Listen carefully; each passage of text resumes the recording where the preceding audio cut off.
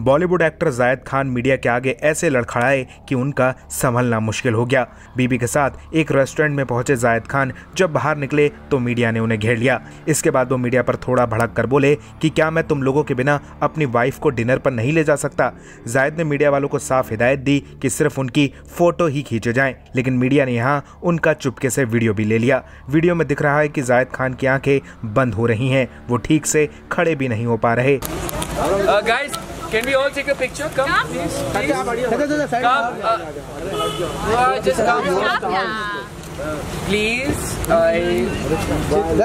अरे यार guys, stop it यार. तुम लोग सब record कर रहे हो. नहीं नहीं सिर्फ फोटो सिर्फ photo Can I not take my wife out for a dinner without all you guys? Sir यहाँ पे देखिए ना Come. मैम रुकिए ना मिलन मैम रुकिए ना सर राइट सर सर यहाँ पे Okay, hello.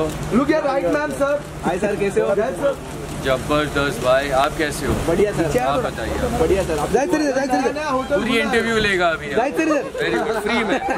Love you too आमची मुंबई। लव यू चलो जाओ।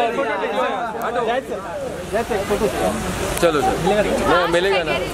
वो दैट काम I am pointing that direction अरे वाह भाई, तू भी ना। ऋतिक रोशन के साले और सुपरस्टार संजय खान के बेटे जायद खान ने साल 2003 में अपने करियर की शुरुआत फ़िल्म चुरा लिया है तुमने से की थी। इसके बाद वो मैं हूँ ना शब्द और ब्लू जैसी फ़िल्मों में नज़र आए, लेकिन जायद का करियर कभी नहीं चल पाया।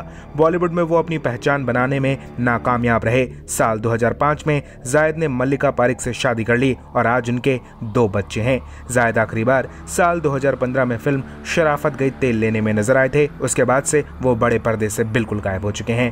फ़िलहाल इस वीडियो पर आप क्या कहेंगे? अपनी राय हमें कमेंट में दीजिए और ज़्यादा ऐसी अपडेट्स के लिए बॉलीवुड पर चर्चा को सब्सक्राइब कीजिए।